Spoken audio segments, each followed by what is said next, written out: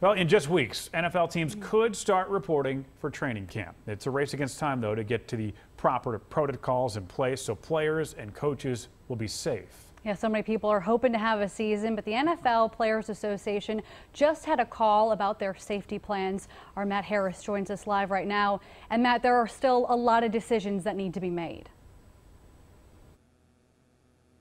Yeah, that's right. We're 22 days out from the start of NFL training camp, the scheduled start of NFL training camp, but there's still a lot to be finalized.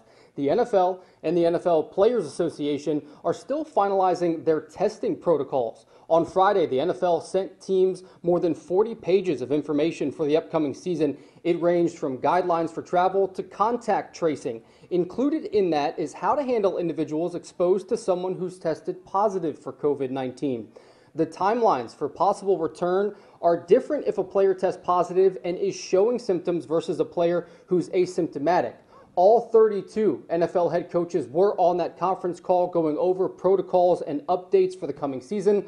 We'll have that information for you as it becomes available. For now, back to you. All right, Matt. A lot of people looking forward to football season, but of course, still a lot to be ironed out there. Our Matt Harris reporting live for us tonight. Matt, thank you.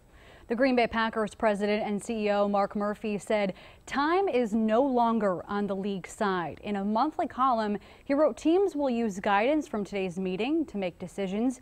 He said the economic and local impact have to be taken into consideration also when making those decisions, but of course, health and safety the most important.